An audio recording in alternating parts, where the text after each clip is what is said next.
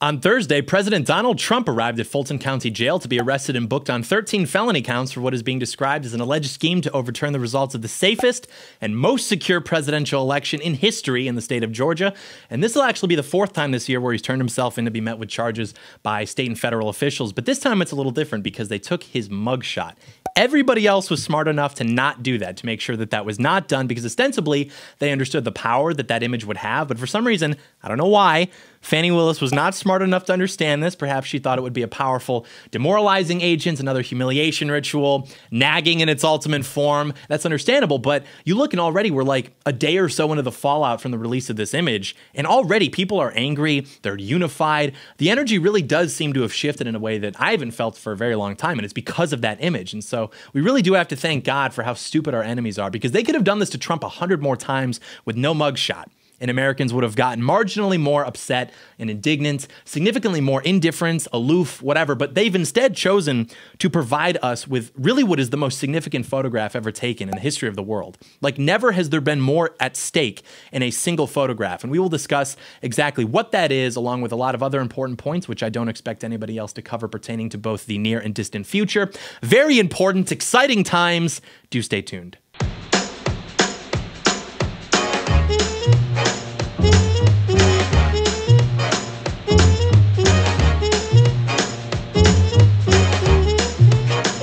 John Doyle in. Heck off, commie. Hello there, ladies and gentlemen. Welcome to Heck Off Commie. Let me just review my notes here briefly before we get started. Okay, uh, MAGA hat status on, Rubicon status crossed, Patriot status in control, mass libtard suicide status imminent. You know, in true Trump fashion, I really do have to give myself some credit here.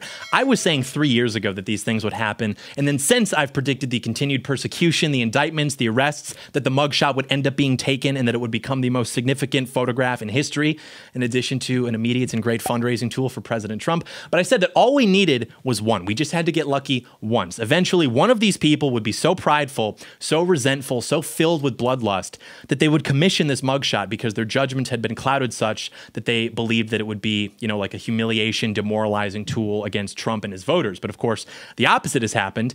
And this is sort of the problem with being so ahead of the curve all the time. We've covered all of this already on so many occasions that when it finally comes true, I feel like I'm just repeating myself but it's okay. I, I, really I don't mind. But it is true that this is the most significant photo that's ever been taken. I don't know if I would go as far as to say it's the most significant image ever, but in the time since we've had photography, it's definitely the most significant picture that's ever been taken because you think about everything that's conveyed by that picture, everything that's at stake.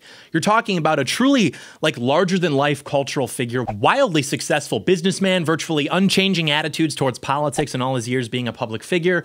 Yeah, when he actually started running, he has to come out and give a position on XYZ. Okay, you have to play ball, but you go back 35 years, you listen to his interviews. He's basically saying that he wants the country to stop getting ripped off. He wants criminals to be put in jail and he wants to put America first, but he doesn't want to run, but he will if nobody else fixes it. Okay, so he runs, somehow he wins. He takes out the Bush political dynasty, the Clinton political dynasty, takes de jure control of the Republican Party. Now gas goes under $2 a gallon. We're energy independent. We're not starting new wars. We're bringing jobs back. We're cutting immigration. There seems to be a sense of national pride. People are making more money. Interest rates are at 3% or less, and it's like we just we couldn't have that. And so our political system declares war on him. They fortify the election. We all saw it happen. I will never forget that watching the results come in for the rest of my life. He's taken Florida. Oh he's got Ohio already. New York Times odds 80% Trump wins. And for the rest of my life, I will never forget hey, they stopped counting in Georgia. They're going to bed. They're going to figure it out tomorrow. Like you just knew at that point that it was going to happen. Now they brag about it. Now they think it's funny. And they're putting people in jail for asking questions about that, including Donald Trump. So that's the story told in this picture. You take the greatest nation in history, you have its decline, the betrayal of its people by its rulers, a man who decides to try to reverse that decline, the sacrifices that he endures in pursuit of that, finally his arrest with directions to throw him in jail for hundreds of years. A trained eye can look at that and see virtually all of America's history the old stock, its greatness, its decadence its cycle, its place in the cyclical nature of history, declining empires, totalitarianism, the struggle of man against his enemies, those who threaten what he loves. All of that really is contained in that image. What's the line from Lenin? Like, there are decades where nothing happens, and there are weeks where decades happen. There are pictures worth a thousand words, and there are pictures worth there are a thousand there are pictures worth a thousand books. How about that? The picture is worth a thousand books.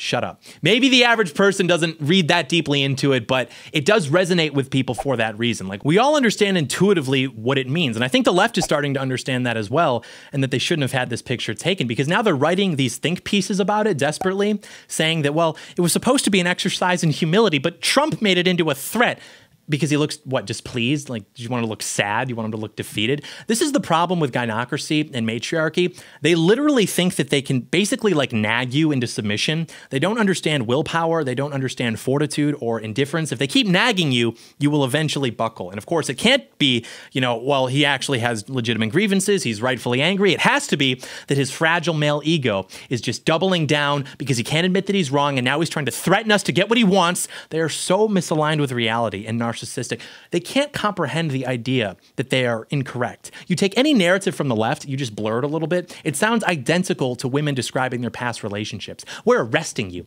Stand here, look at the camera. Fine. Oh my gosh, you're like threatening me right now. You're being really manipulative. Why can't you admit that you're wrong just for once in your life? I think that we're so used to admitting defeat over everything that when we start to actually get perceived victories, we get really unnecessarily skeptical about it. But these people aren't smart. They don't understand how warfare works. At the top, maybe, sure. But the people who made the decision to have this picture taken, people like Fani Willis, they are so used to being in power that they take it for granted, you know, the ability to defer to the science, the experts, the consensus, whatever. They really think that they should be able to basically nag you into non existence. Like they just point at you, hey, he's bad, and then you just cease to exist. They don't understand honor, they only understand nagging. And if you're not buckling and apologizing, they just haven't nagged you enough. But also, this whole nominal exercise in humility, that's just them getting off to this idea of like equality under the law, pretending that it's actually really good because it shows that we're all equal under the law and even the president will be held accountable. But obviously, that's not true because if it were, then this could have happened to anyone. They would have done this to George Bush if he'd been trying to realign our political establishment, and there's of subject matter there, believe me. But it didn't because George Bush played ball. George Bush supported the wars for nothing. He supported the mass immigration. He supported the hollowing out of our country and of our culture. George Bush took the greatest amount of political capital and sense of unity that Republicans had ever seen or will ever see again, and he spent it on tax cuts. He spent it on the sand wars and the construction of a national security apparatus that would eventually be used to target the people who elected him in the first place. We could have deported every single illegal immigrant under the guise of, oh, we have to protect against potential terrorists. We could have built the border wall. We could have done anything we wanted. And his approval rating would have floored it like 80%. Perhaps the greatest traitor currently living to the American public. So, because of that, he gets to hang out with everybody, right? He's in the club. Whereas, if you give me a few hours of your time and an internet connection, I can construct a stronger case against pretty much any establishment politician, Republican or Democrat, whoever, than any of the counts they've levied against Trump because it's all out in the open, it's all publicly available, but nobody does anything about it because that's how the game is played. You go along with the agenda, you make your money on the side, do whatever else you're into on the side, but don't step out of line. And so anybody who supports or helps Trump in pretty much any capacity, it happens to them too. Think about all the other people who have faced criminal penalties for J6 but not the BLM riots, not Chaz, Antifa, similar events in DC or literally state capitals all throughout the country. Nobody cares. It's not hypocrisy. It's not a double standard because we're not equal. The line that's being drawn isn't whether you've got membership in this party or that party. The line that's drawn is whether you are willing to go along with the regularly scheduled programming or if you are not. And when you view things through that lens, then it's all perfectly clear. It's all aligned. There's no incongruencies, no double standards. It all adds up perfectly. Nice round number. People who aren't a threat can pretty much do whatever they want, and people who are a threat will be persecuted no matter what they do. Not good. What is good? Glad you asked. Attention, Patriots! Life is full of routines, some better than others. Sometimes you can make your day more enjoyable by changing something small, like wearing comfortable clothes. And for guys, it starts with your boxers, and that's why I started promoting our very good friends over at Undertac, the most comfortable pair of men's boxers I've ever worn. They're not normal boxers. Instead of being made with cotton, they're made with modal. It's kind of like cotton on steroids, 50% more moisture wicking, naturally antimicrobial. It stays in place. It's got this sturdy, comfortable, comfortable, extra wide waistband, fly design. Very straightforward. If you know, you know. It's durable, lightweight, fade resistant, shrink resistant. The best part, they're almost 30% less than the competition, folks. You got to go pick up a whole drawer full. Otherwise, we're all literally going to die at undertac.com. Get 20% off site wide when you use my offer code Doyle20. By the way, they donate a portion of their profits to veteran run organizations that are actively fighting human trafficking, which we love. So take my advice. You have nothing to lose. It comes with a satisfaction guarantee literally guaranteed satisfaction. I mean, like, come on. It's undertac.com. Undertac.com, offer code Doyle20. Very epic. We continue. But yeah, people like to deny this, but Donald Trump is a threat, like obviously. You know, no one's saying that Trump is going to save the world. I've never said that. No one's saying that it's over when Trump wins. However, it's still important because it happens to be true that Donald Trump does provide an opportunity to put this country on a better trajectory than it has right now. And especially when that's compared to wherever else we could be going in the future. You know, I know a lot of people in his circle. I've spoken to them. They're brilliant and they are killers and they want revenge. And you want to see what your post Trump GOP is going to look like? You go watch the debate from the other night, which nobody's talking about, by the way. You know, that's actually that's worth getting into. The same way that conservatism has been largely unable to define itself in practice apart from leftism because of its power, the GOP can't define itself apart from Donald Trump. No matter how hard they try, no matter what they do, Donald Trump is still in control. They can have their cute little democracy 2024 sign. Ultimately, though, they have to define themselves in terms set by Donald Trump, even if just in opposition to those terms in the first place because Donald Trump is the only person on the right in decades not only to understand the importance, rather the necessity of media, but how to actually control it and set the narrative as opposed to just responding to a narrative set by your enemies. There's nobody else on the right who can do that. I wish there were because it's everything but there just isn't. Moreover, there's nothing that can replace that, meaning it's not like, oh, you know, we can just do this thing a little bit better and then that'll make up for us having virtually no narrative control or messaging power. That's obviously not true. Even ignoring that we are so incompetent that it's not like we have anybody in the first place who could even do that job well assuming it even existed in the first place, right? Because the structure of our party is designed to elevate mediocre people with nothing behind their eyes. People who just want to masturbate to their self image, go to the fun little after parties, smile for the photographs with every person they meet, by the way. Oh, let's get a photo. Oh, let's get a photo. They just want to LARP as political operatives, but ultimately, they have no conviction. It's Hollywood for ugly people, as the saying goes. And because it's designed to elevate these types of people, consequently, we have no standing on our own. Think about it. How would you define the right if not for transsexuals behaving in the ways that they do? If I didn't have to hear every day about Dylan Mulvaney and Bud Light and Disney and Hunter Biden and whatever else is the outrage of the day, I wouldn't know what the right is because it has no self concept. There's no real vision, no way forward, nothing that can independently exist. We're not a right wing, we're just this sort of like counter leftism. And I'm not saying that these issues aren't important, by the way, but they do highlight that we've had this problem for a very long time, which is the inability of the right to define itself in its own terms. And what's worse is that when you try to do that, the biggest pushback you get is from those counter leftist types who will then try to police your behavior because maybe they're paid to, maybe they exist in the ecosystem just because they're that way naturally. It's probably both, but they come in, they're like, uh, yeah, this isn't it. Uh, how does that make us better than them?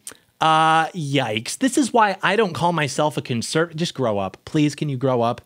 This is actually an under discussed component of what drives people on our side to not like Trump, I think, because Trump actually does this. He actually does have a vision for what America should look like. A lot of people on our side, even some of our favorite pundits, they're very content with the regularly scheduled programming because maybe it's familiar to them.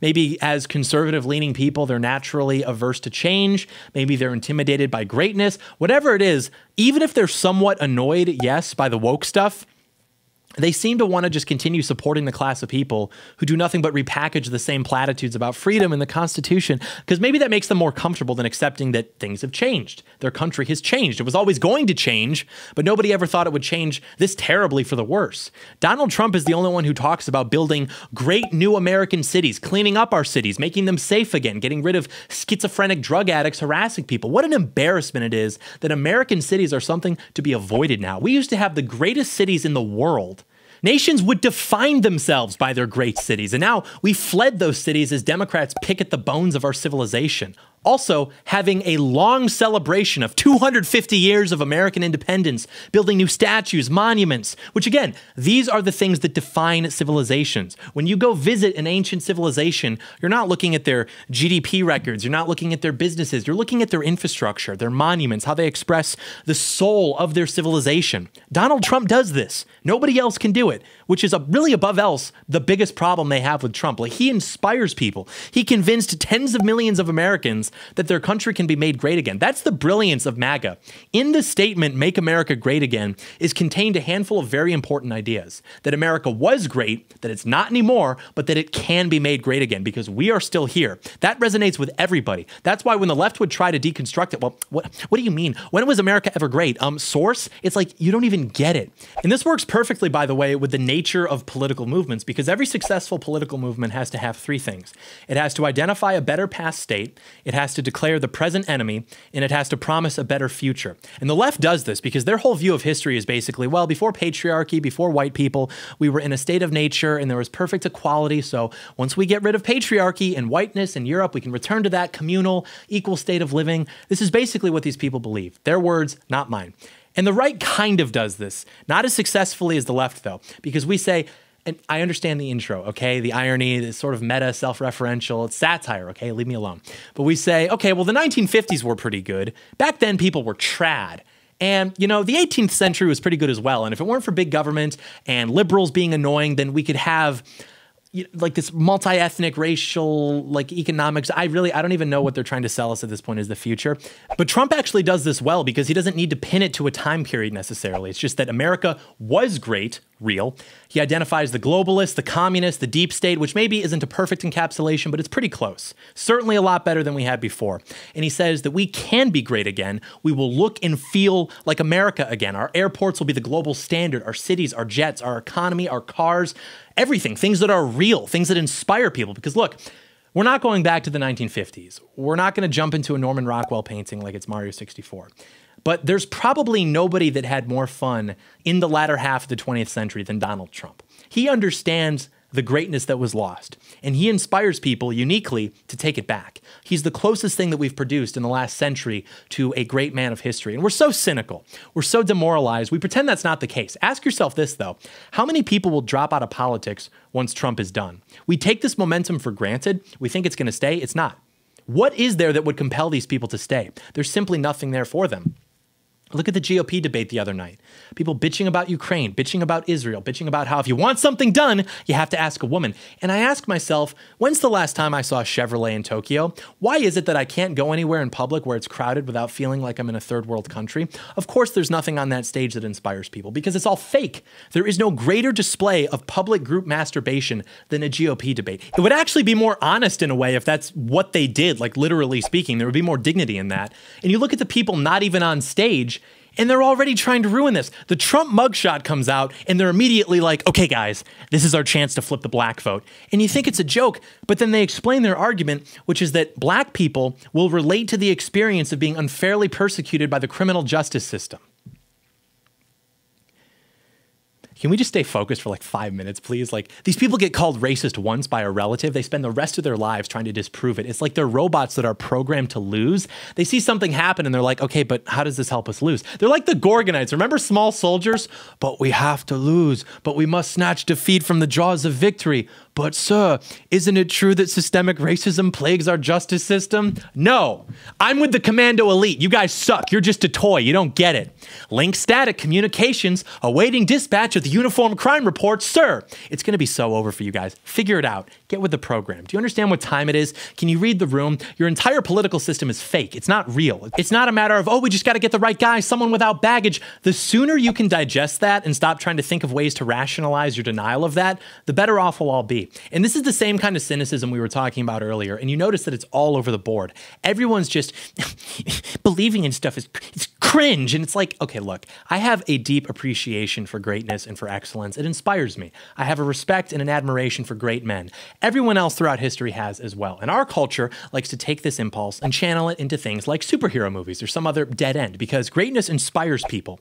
I don't care in the absence of that. I'm not one of these people who's going to take my favorite politician and make an epic edit of them with laser eyes for legislating common good originalism and put that as like my profile picture. I don't care about politicians. That's not what this is about. And if you can't perceive that difference, you're just not going to make it. Like, we're literally back. Donald Trump is back on Twitter. And, you know, obviously I'm a big supporter of his, but you can't deny the guy just has an unmatched instinct for branding and controlling narratives because now his return to Twitter is a bigger story than even the indictment. And since you asked, yes, I also predicted the return to Twitter, which Elon Musk enthusiastically retweeted. I am literally so vindicated on long term predictions, which maybe they necessarily have to be long term since I post infrequently. Okay, touche.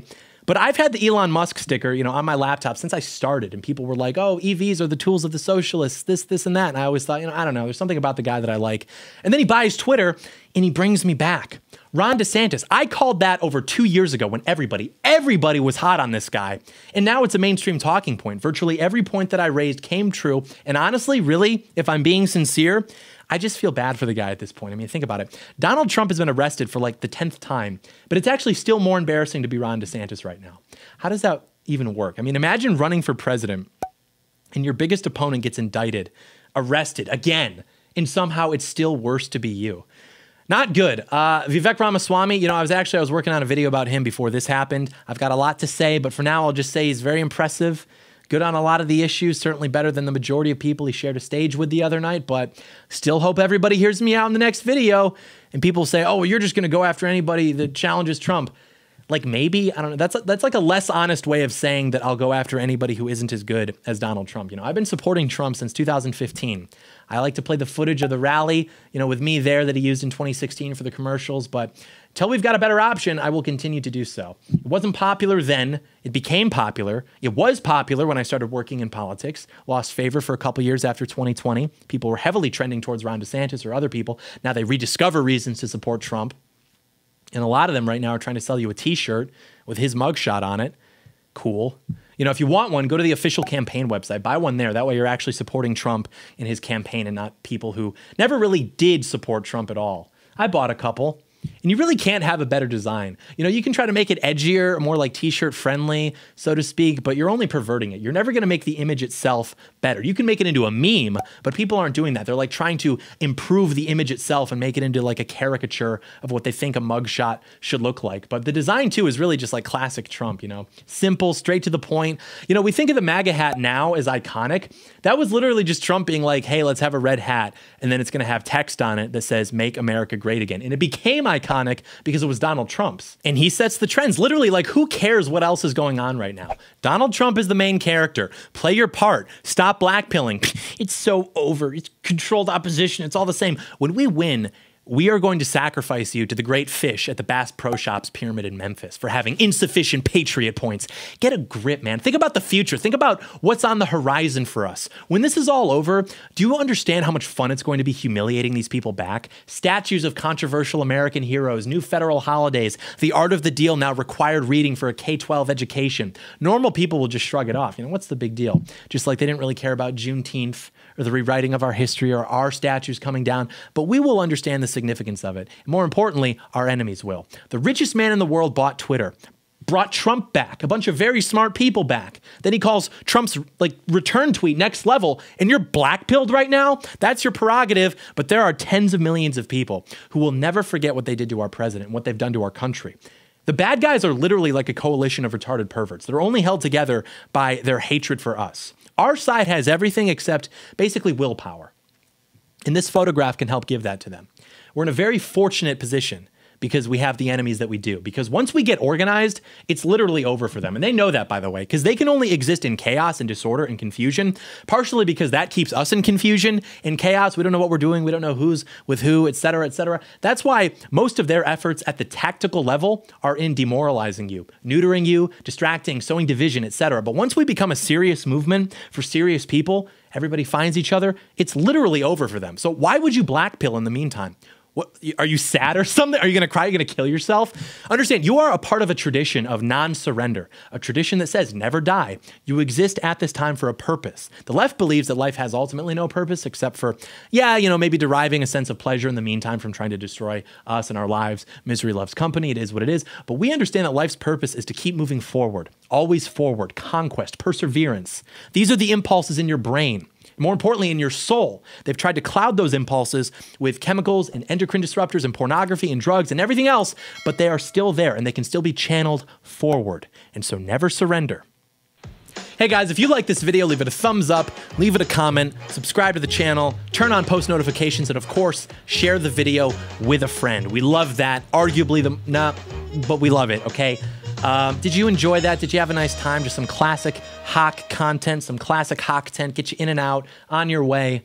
I don't know how long we went for. I told myself we'll go for 18 minutes, just quick, quick video, no hour long treatise on a particular topic, but did get a little bit sidetracked there though we don't regret it. It was a good video, hit on a lot of good topics.